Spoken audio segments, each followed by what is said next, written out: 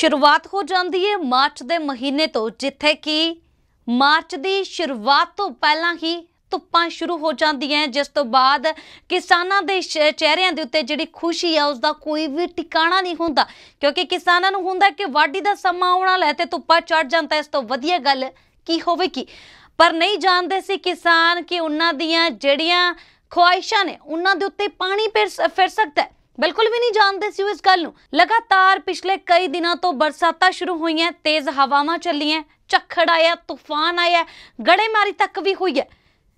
ਫਸਲਾਂ ਬਿਲਕੁਲ ਪੱਕੀਆਂ ਹੋਈਆਂ ਸੀ, ਬਿਲਕੁਲ ਵਾਢੀ ਦੇ ਨੇੜੇ ਲੱਗੀਆਂ ਸੀ ਫਸਲਾਂ, ਪਰ ਇਸ ਦੌਰਾਨ ਲਗਾਤਾਰ ਮੀਂਹ ਪੈਂਦਾ ਦੋ ਦਿਨ ਮੀਂਹ ਪਿਆ, ਫਿਰ ਇੱਕ ਦਿਨ ਧੁੱਪ ਚੜ ਜਾਂਦੀ ਹੈ, ਜਿਵੇਂ ਹੀ ਇੱਕ ਦਿਨ ਧੁੱਪ ਚੜਦੀ ਹੈ ਤਾਂ ਕਿਸਾਨਾਂ ਦੇ ਚਿਹਰੇ ਜਿਹੜੇ ਨੇ ਫਿਰ ਤੋਂ ਖਿੜ ਜਾਂਦੇ ਆ, ਬਿਲਕੁਲ ਫੁੱਲਾਂ ਦੇ ਵਾਂਗ ਕਿਸਾਨਾਂ ਦੇ ਚਿਹਰੇ ਜਿਹੜੇ ਨੇ ਖਿੜ ਉੱਠਦੇ ਨੇ, ਪਰ ਇਸ ਤੋਂ ਬਾਅਦ ਫਿਰ ਅਗਲੇ ਦਿਨ ਬਾਰਿਸ਼ ਸਟਾਰਟ ਹੋ ਜਾਂਦੀ ਹੈ, ਫਿਰ ਤੋਂ ਜਿਹੜੇ ਨੇ ਕਿਸਾਨ ਰੋਣ ਵਾਸਤੇ ਮਜਬੂਰ ਹੋ ਜਾਂਦੇ ਆ, ਕਿਉਂਕਿ ਜਿਹੜੀਆਂ ਫਸਲਾਂ ਉਹਨਾਂ ਨੇ ਪੁੱਤਾਂ ਵਾਂਗ ਪਾਲੀਆਂ ਸੀ, ਉਹਨਾਂ ਫਸਲਾਂ ਦਾ ਇਸ ਤਰ੍ਹਾਂ ਤਬਾਹ ਹੋ ਜਾਣਾ ਬਹੁਤ ਵੱਡੀ ਗੱਲ ਹੈ ਬਹੁਤ ਦੁੱਖ ਹੈ।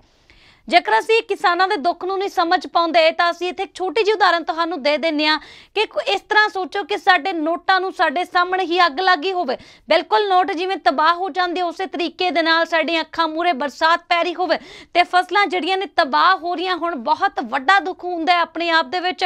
ਬੰਦਾ ਸੰਭਾਲ ਨਹੀਂ ਪਾਉਂਦਾ ਆਪਣੇ ਆਪ ਨੂੰ। ਤਾਂ ਫਿਰ ਤੋਂ ਪੰਜਾਬ ਦੇ ਵਿੱਚ ਜਿਹੜਾ ਮੌਸਮ ਬਦਲ ਗਿਆ। ਕੱਲ ਸ਼ਾਮ ਤੋਂ ਹੀ ਪੰਜਾਬ ਦੇ ਵਿੱਚ ਤੇਜ਼ ਹਵਾਵਾਂ ਦੇ ਨਾਲ, ਝੱਖੜ ਦੇ ਨਾਲ ਨਾਲ ਬਰਸਾਤਾਂ ਜਿਹੜੀਆਂ ਨੇ, ਬਹੁਤ ਵੱਡੇ ਪੱਧਰ ਦੇ ਉੱਤੇ ਤੇਜ਼ ਹਨੇਰੀਆਂ ਤੇ ਬਰਸਾਤਾਂ ਦੇਖਣ ਨੂੰ ਮਿਲ ਰਹੀਆਂ, ਜਿਸ ਤੋਂ ਬਾਅਦ ਫਿਰ ਤੋਂ ਕਿਸਾਨਾਂ ਦੀਆਂ ਆਸਾਂ ਦੇ ਉੱਤੇ ਪਾਣੀ ਫਿਰ ਗਿਆ। ਸੋਚਿਆ ਸੀ ਕਿ ਸ਼ਾਇਦ ਕੁਝ ਬਚ ਜੂਗਾ ਪਰ ਫਿਰ ਤੋਂ ਮੁੜ ਤੋਂ ਜਿਹੜੀ ਇਹ ਬਰਸਾਤ ਹੋਈ ਹੈ, ਉਸ ਤੋਂ ਬਾਅਦ ਹੁਣ ਕਿਸਾਨਾਂ ਦੀਆਂ ਪੂਰੀਆਂ ਉਮੀਦਾਂ ਜਿਹੜੀਆਂ ਨੇ, ਪੂਰੀ ਤਰ੍ਹਾਂ ਦੇ ਨਾਲ ਚਕਨਾਚੂਰ ਹੋ ਚੁੱਕੀਆਂ। ਕਿਉਂਕਿ ਫਸਲਾਂ ਜਿਹੜੀਆਂ ਨੇ ਬਿਲਕੁਲ ਹੀ ਗਲ ਚੁੱਕੀਆਂ ਨੇ, ਪਾਣੀ ਪਾਣੀ ਭਰ ਚੁੱਕਿਆ ਖੇਤਾਂ ਦੇ ਵਿੱਚ। ਫਸਲਾਂ ਬਿਲਕੁਲ ਵਾਢੀ ਲਈ ਤਿਆਰ ਪਈਆਂ ਸੀ, ਪਰ ਫਿਰ ਇਸ ਦੌਰਾਨ ਕਹਿ ਲਓ ਕਿ ਪੱਕੀਆਂ ਫਸਲਾਂ ਜਿਹੜੀਆਂ ਨੇਗੇ ਮੀਂਹ ਪੈਣ ਦੇ ਨਾਲ ਤਬਾਹ ਹੋ ਜਾਂਦੀਆਂ। ਬਹੁਤ ਵੱਡਾ ਨੁਕਸਾਨ ਜਿਹੜਾ ਹੋਇਆ।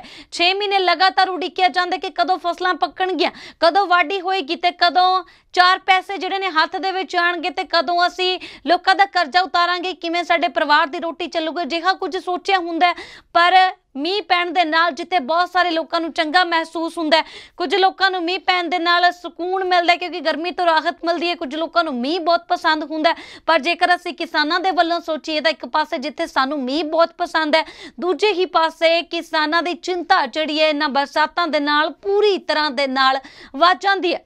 ਬਹੁਤ ਦੁਖੀ ਨੇ ਇਸ ਵੇਲੇ ਕਿਸਾਨ।